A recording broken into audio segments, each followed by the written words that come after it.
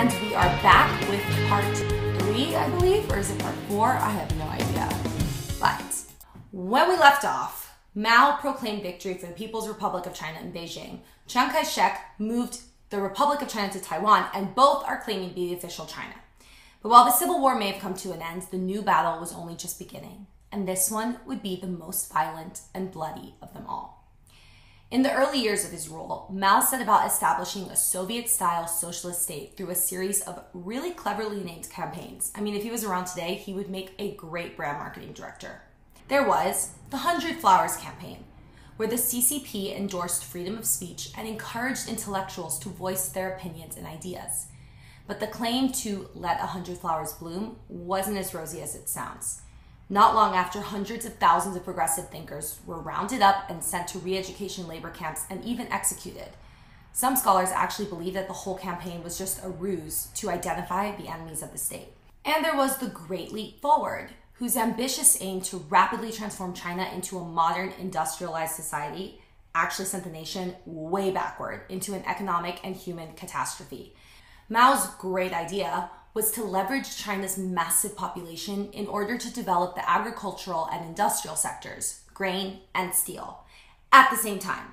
So millions of people were forced into these communes where they lived and just worked around the clock.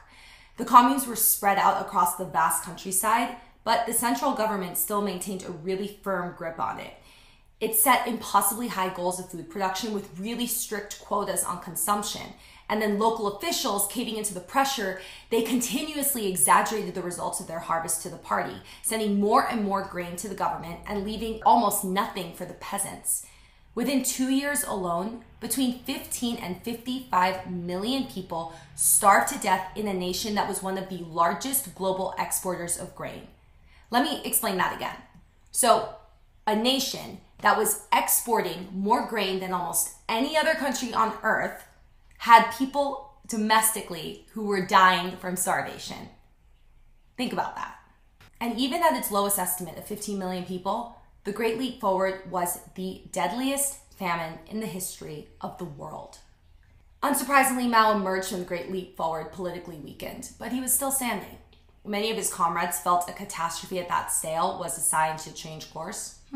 And uh, Mao could sense that. But rather than allow for reform, he catapulted the nation into a decade long period of political and social chaos by using the masses to reassert his control of the party.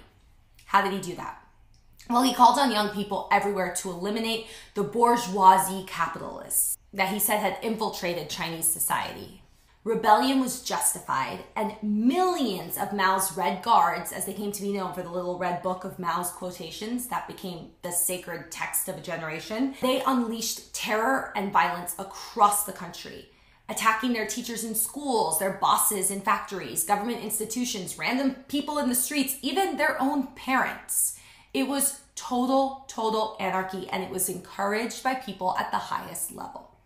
School, work, and just ordinary lives were forgone, and revolution was the only cause. And it wasn't just people that had to go. Mao urged his followers to rid the nation of the four olds old customs, old culture, old habits, and old ideas.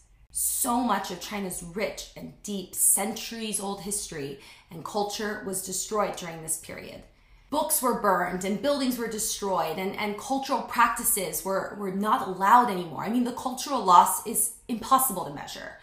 But we do know that somewhere around one and a half million lives were lost and millions more were imprisoned and tortured during this time. The Cultural Revolution lasted all the way until Mao's death in 1976. The next man to lead China and carry the nation out of this trauma was himself a victim of the Cultural Revolution spending much of it in the forced labor camp. Deng Xiaoping and China's next big move is up next.